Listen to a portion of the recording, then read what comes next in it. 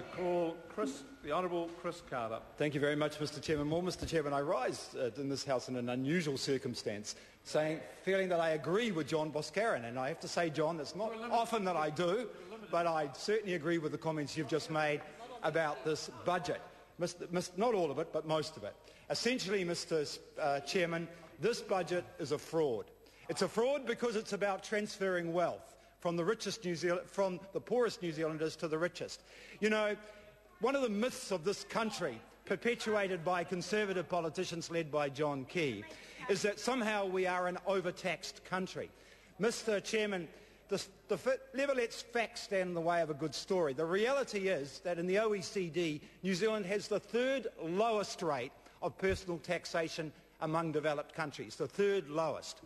Where is this transfer of wealth going to impact? It's going to impact on the delivery of services in this country, Mr Chairman. What we're doing and what we're saying, what the, well, well, not what Labor's doing and not what Labor's saying, but what National is saying and its coalition partners, is that for having $90 in the pocket of a rich New Zealander, we're going to get third-rate social services and government services. Education is an excellent example. $400 million being taken, Mr Chairman, out of early childhood education. And how is it going to impact? It's about saying to early childhood education centres where they have qualified teachers, it doesn't matter. It doesn't matter who's, who's working with those children. It doesn't matter how well educated or how lacking in skills they are. It's saying this doesn't count. Now, as a former teacher and as a former Minister of Education, Mr Chairman, I know that a child's education journey, its success in education, his or her success, begins in quality early childhood education. You know, one of the great crocodile tears presented by the current national government is about underachievement in our country. It's about the tale of unsuccessful students in our schools, the 18 to 20 percent. Actually, of course, the standard percentage in all developed countries, but we won't go explore that. How is this going to uh, help them? Manukau City, 23% of children at the moment go to early childhood education, and that might include one afternoon at the local church. So, you know, very variable quality. But 23% of new entrants going into primary schools have been to early childhood education.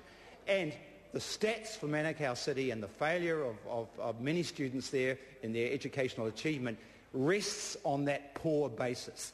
How is this $400 million being taken out of the education budget, out of early childhood education, to pay for tax cuts for the richest New Zealanders?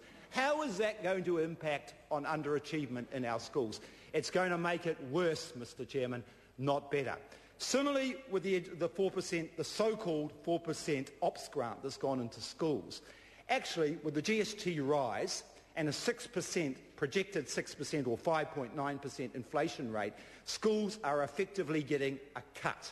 They're going to get less in their OPS grant than they've currently got because of the changed economic circumstances. So the nonsense we heard yesterday from Mr Key, an increase in funding for education is just that. It's a fraud.